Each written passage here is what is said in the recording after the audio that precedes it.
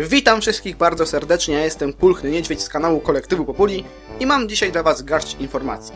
Po pierwsze, dzisiaj oraz najprawdopodobniej jeszcze jutro żaden film na kanale się nie pokaże, ponieważ moja karta graficzna ostatecznie powiedziała dość, no i musiałem sobie zamówić nową, którą zapewne w momencie, gdy słuchacie te słowa, ja podłączam, więc bez obaw ta przerwa będzie jedno, góra dwudniowa, chociaż myślę, że jeden dzień, czyli dzisiaj, na tę przerwę stanowczo wystarczy. Po drugie, szykują się nowe serie. Bardzo prosiliście o serię z Kozaków i dlatego pomyślałem, czemu nie, dam wam serię z Kozaków, będzie nowa kampania multiplayer z gry Kozacy.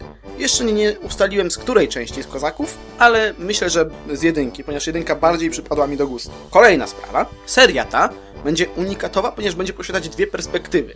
I nie chodzi tu o perspektywy dwóch graczy, tylko perspektywę strategiczną oraz perspektywę z widoku pierwszej osoby. Jak to zrealizuje? Bardzo prosto. Przyjmijmy, że w Kozakach mamy misję y, Bitwa pod Kłuszynem. Jeżeli ktoś zna historię, to wie, co to za bitwa. No i w Kozakach, jak to Kozakach, co gra strategiczna, budujemy, wysyłamy armię, bijemy się, kto wygra, ten wygra. No przecież wiadomo, kto wygra, wygra Polska, tak jak w historii, no ale wygrywa Polska, no i jest happy end, prawda, tam napisy końcowe, fajnie.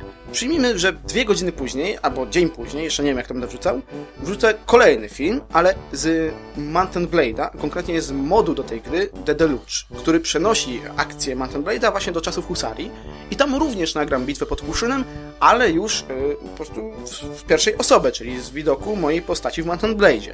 Fabuła będzie dokładnie ta sama, tylko widoki będą dwa. Widoki tego głównego bohatera, który fabułę opowiada, czyli tego husarza, który ten, którego zobaczycie w Mountain Blade'zie, oraz widok strategiczny jakiegoś tam hetmana, to Żółkiewskiego, który wszystkim tym y, dowodzi. Czyli innymi słowy będą tak naprawdę dwie kampanie z mm, Kozaków oraz Dedelucza, które będą się ze sobą łączyć. Po prostu będą miały wspólną fabułę, będą miały takie same misje tak naprawdę, ponieważ jeżeli tutaj w Kozakach będzie jakaś misja typu oblężenie Moskwy, to i w Deluczu będzie oblężenie Moskwy, tylko z dwóch różnych perspektyw. Mam nadzieję, że rozumiecie o co mi chodzi, mimo już mówię tak bardzo chaotycznie, no bo nagrywam to na spontanie.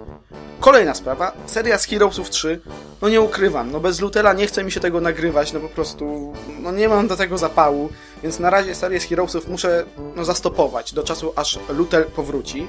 I tu przechodzimy do trzeciej wiadomości, trzeciej informacji, Lutel. Jak wygląda sprawa z Lutelem? No, pewnie już niektórzy oglądali jego przemówienie na kanale, w którym tam oznajmiał, że tam problemy i tak dalej, tak dalej, tak dalej, tak dalej. Przepraszam za skrzypiące krzesło w, w tyle, mam nadzieję, że tego nie słyszeliście. No ale co z tym Lutelem?